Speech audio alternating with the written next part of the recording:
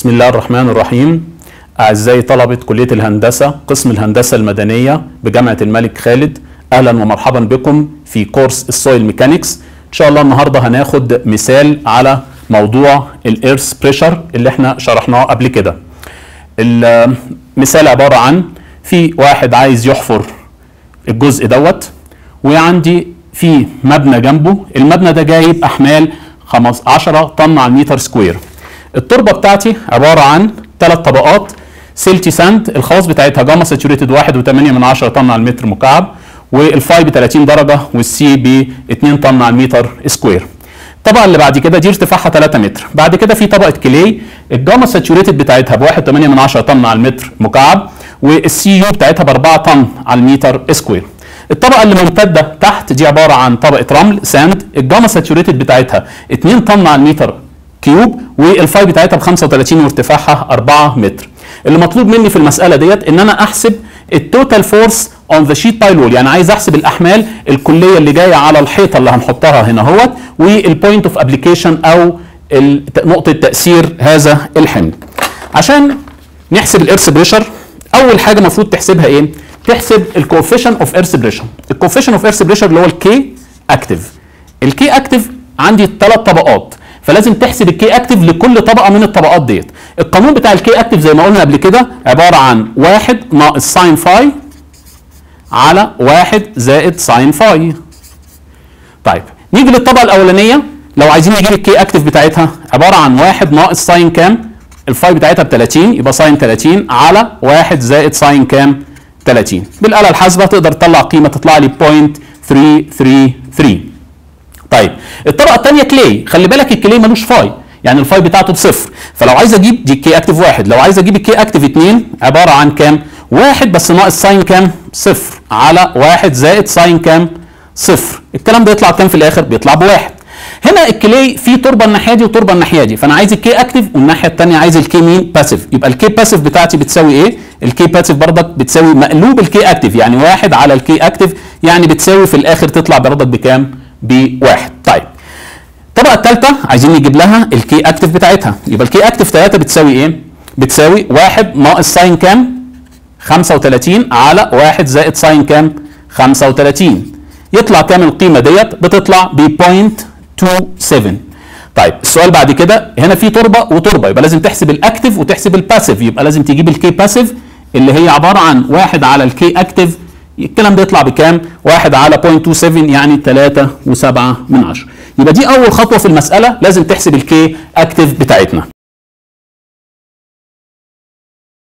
عايزين بقى نحسب ال earth pressure السؤال بقى ال earth pressure هنحسبه بالقانون العام بتاعه. إيه هو القانون العام بتاع ال earth pressure القانون العام بتاع ال earth pressure ال e بتساوي q اللي عندي ديت زائد سميشن جاما في اتش الكلام ده مضروب في مين؟ في ال K active وبعدين هنحط هنا هو مين تأثير ال C تأثير ال C اللي هو 2 C جذر ال K active 2 C جذر ال K active طبعا أنتوا عارفينها اللي هي تأثير مين؟ ال Q آه تأثير ال C بتاعتنا. طب السؤال هحسب فين بقى القيم ديت؟ هتحسب عند النقطة اللي هنا اسمها نقطة واحد تحسب ال earth pressure بالقانون العام بتاعنا. وبعدين هحسب هنا فين تاني؟ عند النقطة ديت 2 خلي بالك هنا في حاجة وهنا في تربة ثانية فلازم تحسب فوقيها وتحتيها. يعني هنا 2 وهنا كام؟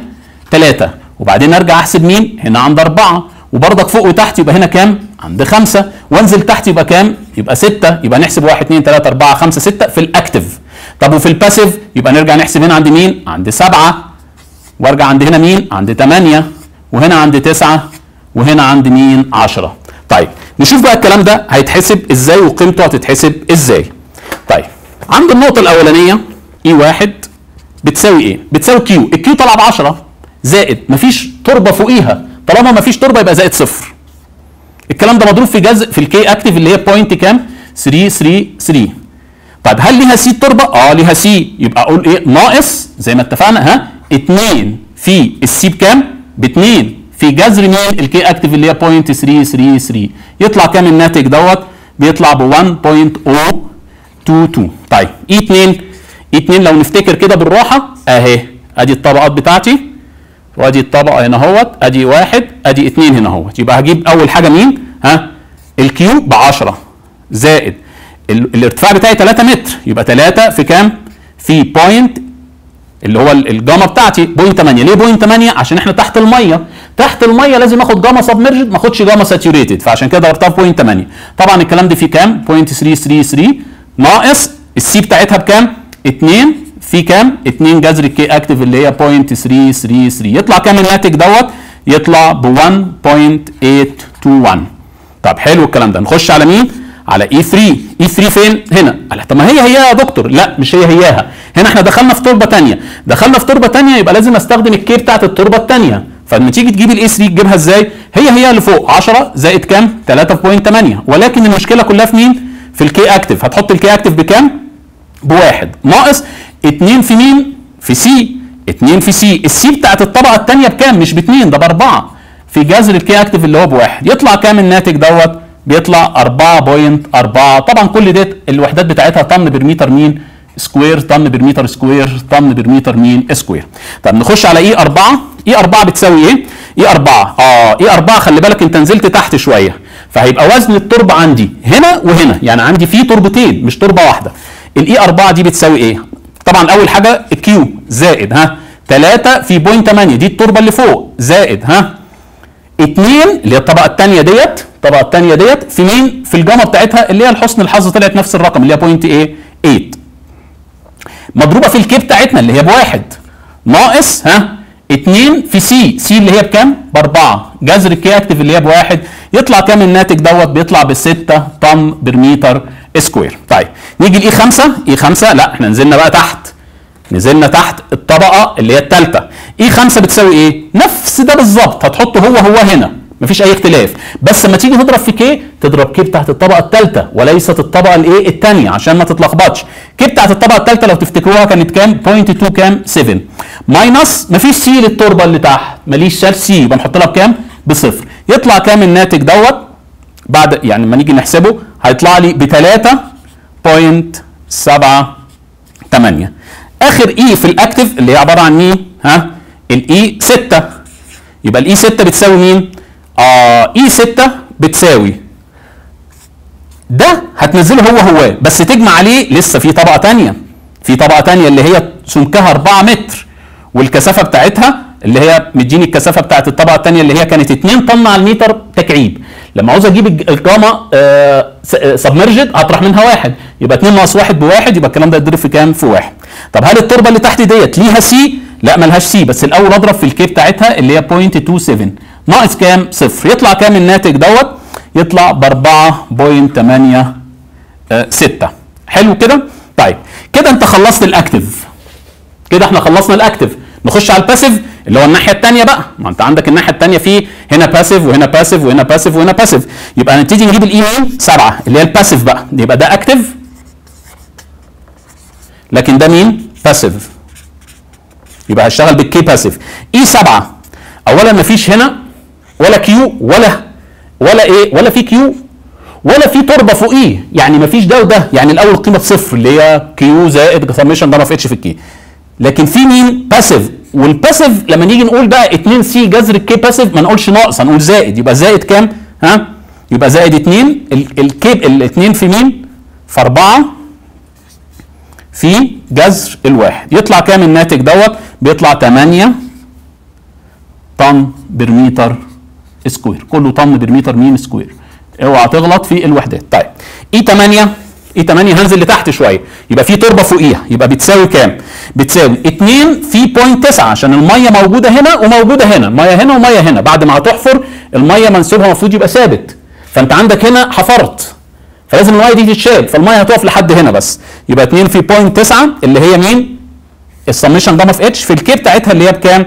اللي هي بواحد. وبعدين أقول زائد ها؟ ما إحنا قلنا عشان فيها C يبقى 2 في 4 في جذر مين ال K passive اللي هي بواحد. يطلع كام الناتج ده؟ بيطلع ب 9.8 طن per meter square طيب نيجي ل E 9 E 9 اللي هي فين؟ اللي هي هنا اهوت.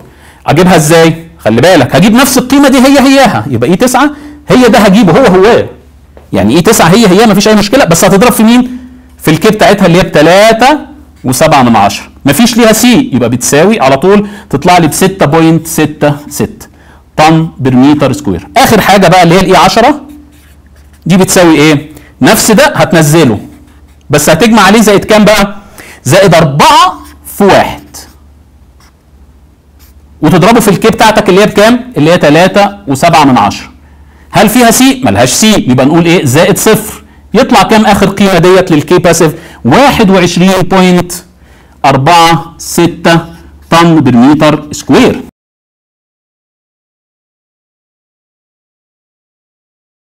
طب إحنا بقى عايزين نجيب بقى أنت كده جبت ال earth pressure ك stresses. عايزين نجيبه ك force. يبقى نبتدي نرجع لل structure اللي إحنا درسناه في تانية مدني. نبتدي نرسم الرسمة بتاعتنا بقى أهي ونحط عليها القيم اللي أنت جبتها كلها. يعني كان في هنا قيمة قيمتها كام؟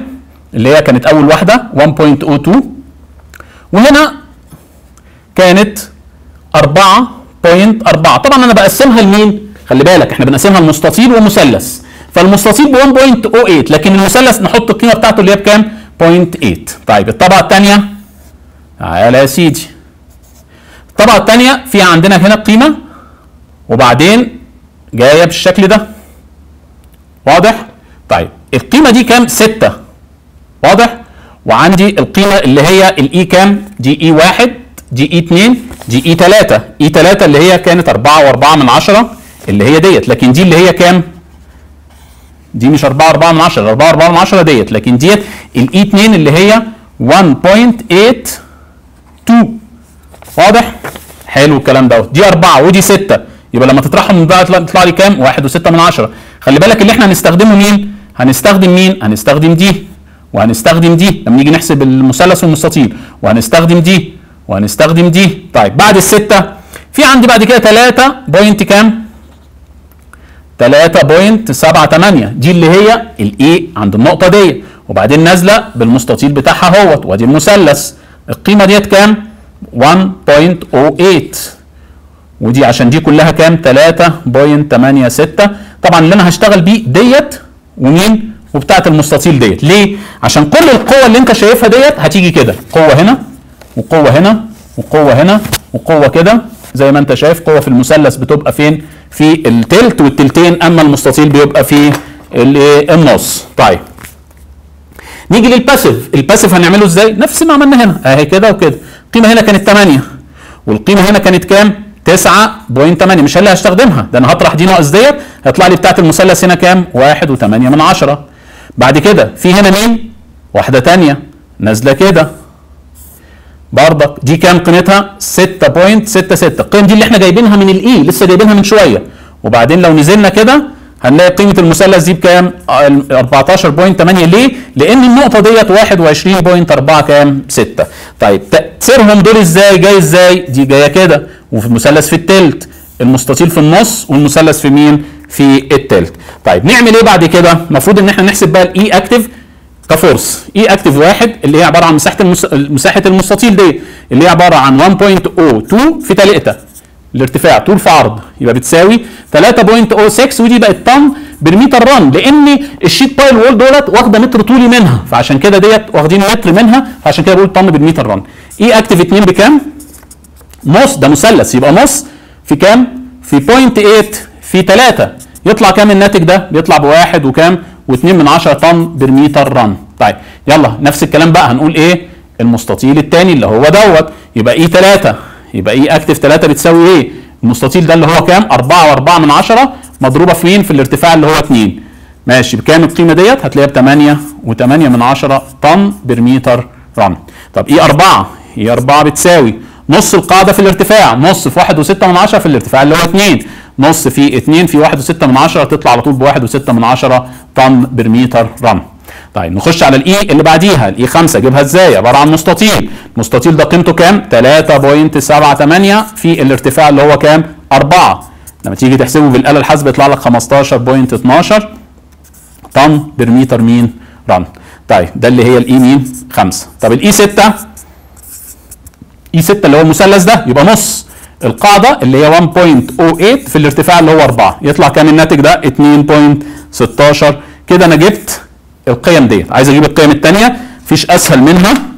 القيم بتاعه ال passive يبقى ال E passive واحد بتساوي عندنا دي كام؟ 8 مضروبة في كام؟ في 2 2 في 8 بكام على طول؟ ب 16 طن per meter run كلها طن per meter مين run E passive 2 E passive 2 عبارة عن ده مثلث. يبقى نص. القاعدة اللي هي 1.8 من 10 في الارتفاع اللي هو 2 تطلع لي على طول ب 1.8 من 10 طن per meter run طيب. بالمثل تقدر تجيب ال E passive كام؟ 3 عبارة عن 6 و6 من 10 اللي هي ديت. ماشي؟ مضروبة في 4 تطلع لي بكام؟ ب 26.64 طن per meter run آخر واحدة اللي هي مين؟ ال E passive 4 اللي هي المثلث ده اللي هي عبارة عن نص. القاعدة بتاعتي اللي هي ب 14 و8 مضروبة في 4 يطلع كام الناتج دوت؟ ب 29 و6 من 10 طب ما كده خلاص بقى. انت ممكن بقى ببساطة خالص تقدر تجيب بقى ال E total اللي هو عايزها. ال E total عبارة عن إيه؟ هتجمع بقى. تجمع مين بقى؟ طبعا هو اللي غالبا اللي هيبقى الكبير ال passive فعشان كده خد الاتجاه ده هو ده الموجب. يعني اجمع ده زائد ده زائد ده. ناقص ناقص ناقص ناقص ناقص ناقص. طلع القيمة بتاعتك هتلاقي إن ال E total طلعت لي بكام؟ 42 واحد من 10 طن per meter run. طيب.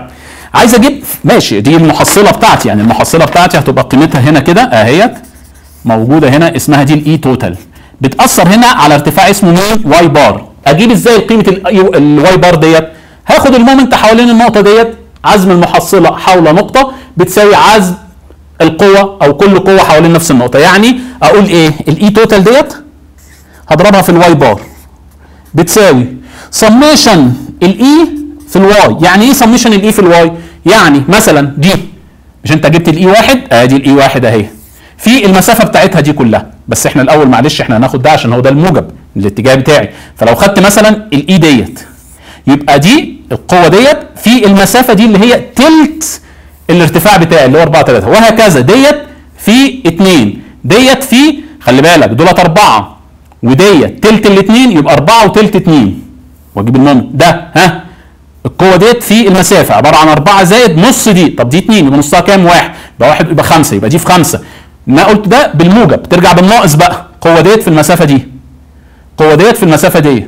القوة ديت في المسافة دي. وهكذا لحد ما تقدر تطلع قيمة ال Y bar بتاعتنا. ال Y bar بتاعتك في المسألة دي بعد ما تحلها ممكن check عليها. هتطلع قيمتها 1.55 متر يعني متر و55 إيه سنتي. طيب لو إحنا خدنا تأثير آه، مثلثات المية على ال sheet pile wall هتلاقي إن آه، ال earth pressure طبعا هتلاقي قيمة اي واحد واي اتنين واي تلاتة واي أربعة واي خمسة واي ستة واي سبعة واي تمانية واي تسعة واي عشرة.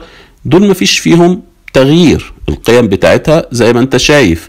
قيمة ديت 3.06 1.2 8.8 واحد وستة من عشرة 15 و12 2 و16 16 واحد وستة وتلاتة وعشرين point ستة تمانية وتسعة وعشرين أمال إيه اللي هيختلف؟ هيختلف إن عندي مثلث ناحية ال active الإي سمول بتاعته بتسعة وفي مثلث تاني ناحية ال passive قيمته ستة اللي هي gamma water في H water وبالتالي لما نيجي نجيب المحصلة بتاعت المثلث ديت هنلاقيها نص في تسعة في تسعة يعني أربعين point five وال E water من الناحية التانية نص في ستة في ستة اللي هي محصلة المثلث 18 في الحالة ديت ال E total هتختلف. قيمة ال E total عشان عندي مثلثين ما كانوش موجودين قبل كده قيمتهم 16 و 44 محصلة ال E total وبرضك هتبقى الاتجاه بتاعها زي ما انت شايف في الايه في آه ناحية ال passive طب عايز أجيب المحصلة أو مكان المحصلة؟ هناخد نفس الكلام. العزم حول النقطة السفلى دي. جبت العزم حوالين عزم المحصلة حول آه النقطة السفلية ديت بيساوي عزم القوة الكلية حول نفس الايه النقطة. يعني إيه 16 و 44 في الواي بار بتساوي إيه؟ اضرب بقى 18 في 2 والناقص وناقص 40.5 في 3 ناقص 3.06 في 7 ونص ناقص 1 و2 من 10 في 7 ناقص 8 و8 من 10 في 5 ناقص 1 و6 من 10 في 4 و67 ناقص 15 و12 في 2 ناقص 2 و16 في 1 و3 زائد 16 في 5 زائد 1 و6 في 4.67 زائد 23.68 في 2 زائد 26.6 في 1.33 لما تيجي تحسب القيمة بتاعت ال Y bar تطلع لك ب minus 1 و6